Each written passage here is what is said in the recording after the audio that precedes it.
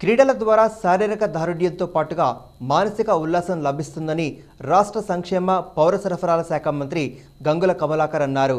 కరీంనగర్లో గత పది రోజులుగా నిర్వహిస్తున్న కరీంనగర్ క్రికెట్ ఛాంపియన్స్ లీగును ముగింపు కార్యక్రమానికి మంత్రి హాజరై విజేతలకు ట్రోఫీ అందజేశారు. కరీంనగర్ గిద్దెపెరుమండ్ల ఆలయ మైదానంలో క్రికెట్ టోర్నీ నిర్వహిస్తున్నారు. ఉప్పు సురేష్ ఆధ్వర్యంలో జరుగుతున్న ఈ క్రికెట్ టోర్నీ ముగింపు కార్యక్రమానికి మంత్రి గంగుల కమలాకర్ హాజరయ్యారు. ఫైనల్ మ్యాచ్ క్రీడాకారులను మంత్రి పరిచయం చేసుకున్నారు. మంత్రి గంగుల కమలాకర్ బ్యాటింగ్ చేస్తూ క్రీడాకారులను ఉత్సాహపరిచారు. అనంతరం క్రికెట్ పోటీల్లో విజయం సాధించిన విజేతలను ట్రోఫీని అందజేశారు.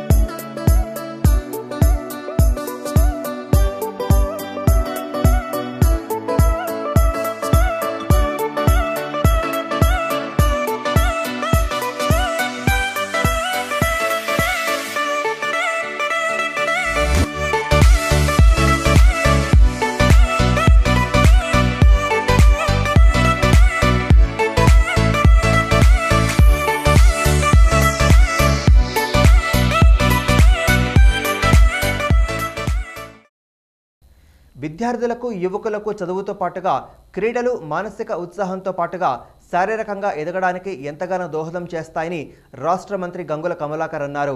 ఫిజికల్ ఫిట్నెస్ ఉంటేనే సంపూర్ణ ఆరోగ్యంగా ఉంటామన్నారు. ప్రతి ఒక్కరూ క్రీడలను అలవాటుగా మార్చుకొని ఆటలు ఆడుతూ సంపూర్ణ ఆరోగ్యంగా ఉండాలని సూచించారు. తల్లిదండ్రులు వ్యాయామంపై దృష్టి పెడితే వారి పిల్లల్లో కూడా అలవాటు చేసుకుంటారని అన్నారు. కార్పొరేట్ స్కూల్ వచ్చినప్పటి నుంచి పిల్లల్లో క్రీడలపై ఆసక్తి తగ్గిందన్నారు